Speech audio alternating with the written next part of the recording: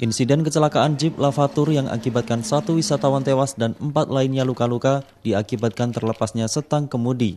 Akibatnya Jeep terjun bebas ke dalam jurang sedalam 4 meter saat melewati turunan di Dusun Tangkisan, Kecamatan Cangkringan, Sleman, Yogyakarta. Untuk insiden kecelakaan, Dinas Perhubungan telah serahkan kasus tersebut pada polisi karena pengemudi dianggap lalai karena tidak melakukan pengecekan. Sementara itu, Disub kesulitan untuk melakukan uji kir kelayakan secara rutin karena menurut Undang-Undang Lalu Lintas, jeep wisata tidak termasuk angkutan umum. Kecelakaan maut lavatur di sepanjang tahun ini tercatat sudah terjadi sebanyak dua kali. Ke depan, Pemkap tengah mencari payung hukum. Pemkap mencari celah agar bisa mengatur jeep sebagai angkutan wisata sehingga ke depan pengecekan kir berkala yang dilakukan setengah tahun sekali.